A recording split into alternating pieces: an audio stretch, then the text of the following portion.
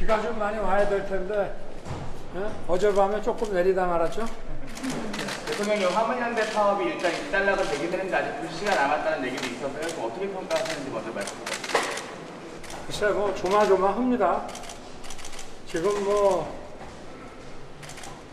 전 세계적으로 이 보물과와 이 보급류에 따른 경제 위기로 지금 뭐 살얼음판을 걷고 있는데 아, 우리가 다 함께 좀 어, 전체를 생각해서 어, 잘 협력해야 될 것 같습니다. 이 일본 언론에서 그 나토 정상회의 때 한일 정상회담을 안 하는 방향으로 양국이 조율하고 있다 이런 보도가 나왔는데요. 이제 강제 진용이나 어, 이 일본의 경제적 배타 지역에서 우리나라 쪽의 해양 조사 이런 게 이유로 들었는데 그것도 맞는지 좀 글쎄 뭐 외교 문제가 아직 정해지기 전에 어, 뭘 확인해드리고 이러기는 좀 어렵고 어, 확정된 건 없습니다. 한일 정부 명칭이 그 용산 대통령실에 잠정 결론 나는데 국민 공무하는 의미가 좀 퇴색된다는 지적이 글쎄 뭐 국민 그 공모로 인해서 올라온 그 명칭에 대해서 언론도 다 좋지 않게 보지 않습니까?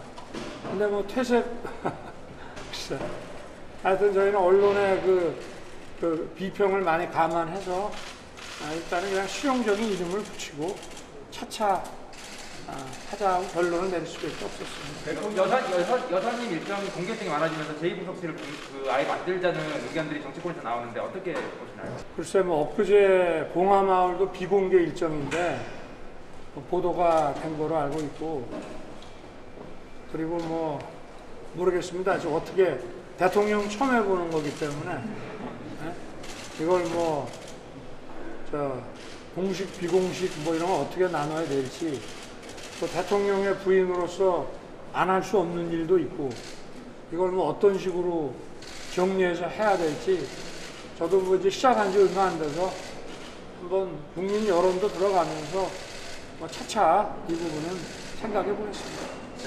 여사님 양산에는 언제쯤 하시나요?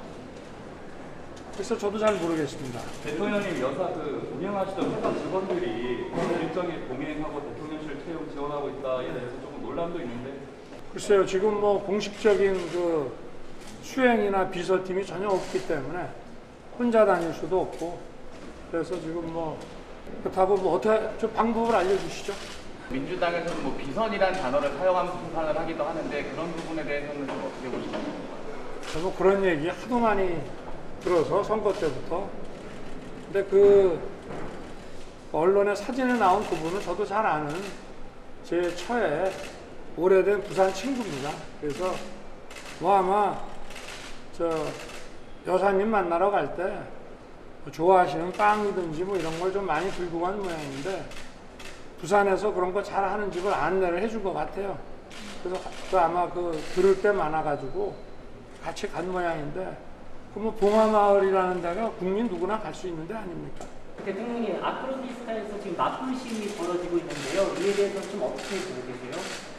법에 따른 국민의 권리니까 거기에 대해서는 제가 뭐 따로 언급하지 않겠습니다.